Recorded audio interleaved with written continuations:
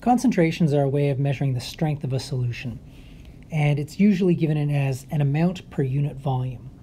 So this can be something like the mass in a certain volume of solution or the number of moles in a certain volume of solution. Uh, so you could write something like grams per milliliter or grams per liter or moles per liter or any anything like that. Typically what we use is something called molarity, which is given in units of capital M and is expressed in units of moles per liter. So if you have something that is one molar, it has one mole of contents, one mole of solute uh, in one liter of solution. Or it has 0.5 moles in 0.5 liters of solution. Either way, it works out to the same ratio, where if you do the division, you end up again with one mole for every one liter. And this kind of unit lets us convert between concentration and moles and volume. So if we have something like a 3 molar solution of sodium chloride, and we know that we've got 1 liter of sodium chloride solution, we know that we have 3 moles of sodium chloride. So we'll do a couple of examples now. So let's say we have 3 moles of some sugar dissolved in 15 liters of water. We want to know what is the molarity, what is the concentration of that solution. Well, we know molarity has units of moles per liter, so what we do is we set up a ratio. We have 3.0 moles of sugar divided by 15.0 liters, and we do that division, we end up with a value of 0.20 molar C6H12O6. Our second example is in two parts we have 0.750 moles of FeCl3 dissolved in one liter of water. And we want to know what is the molarity of the iron 3 chloride. What we do is exactly the same as the last example. We take the number of moles and we divide it by the number of liters. So we have 0.750 moles of FeCl3 and we divide that by 1.00 liters of water and we end up with a value of 0.750 molar FeCl3. So the molarity of iron 3 chloride is, is pretty easy to calculate. Something a little bit different is the molarity of chloride ions in that solution. It's important to remember that iron chloride, the iron 3 chloride, is ionic, and if it's all dissolved, ionic things dissociate in water. It's a strong electrolyte. So what's really happening in solution is FeCl3 is splitting up into Fe3 plus ions and 3 chloride ions. So for every one mole of iron chloride, you end up with three moles of chloride ion. So we have a mole ratio.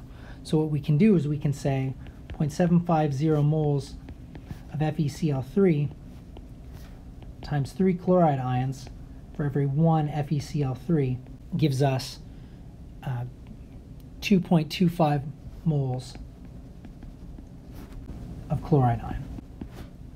And then we can say that 2.25 moles divided by 1.00 liters gives you 2.25 molar chloride ions. What we can do in addition to this is we can use mole ratios with concentrations as well as with moles. So if we erase this last part, what we can do is we can say we know that we have 0.750 molar FeCl3. And we know that there are 3 moles of chloride for every 1 mole of FeCl3, so we know that we end up with 2.25 molar Cl minus. And the reason we can do this is because the units of molarity are moles per liter. And as long as the volume doesn't change, we can use the mole ratio with the moles part of that unit. And the moles of FeCl3 are going to cancel and we'll be left with moles per liter of chloride ion.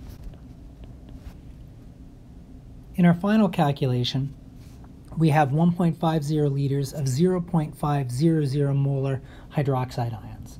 And we want to know how many moles of barium hydroxide must have been dissolved to make that solution, to make a solution with that concentration of hydroxide ions. And what we do is very similar to what we did in our last example. We have 1.50 liters, and we can use the ratio molarity being a ratio of moles per liters. So we have 1.50 liters times 0.0500 molar, and we can end up with a number of moles 0.0750 moles of OH minus. And the reason this works again is because molarity is a ratio. It really has units of moles per liter. So we have moles per liter, and our liters will cancel and leave us with moles. So we know in our 1.50 liters of 0.05 molar hydroxide ions, we have 0.075 moles of hydroxide ions. And if those came from the barium hydroxide, we know that there are two hydroxides for every one barium hydroxide. So we can again set up a mole ratio in order to work out how much product we actually needed to dissolve. So we have our data, 0.0750 moles of hydroxide ion, and we know that there is one barium hydroxide for every two hydroxide ions.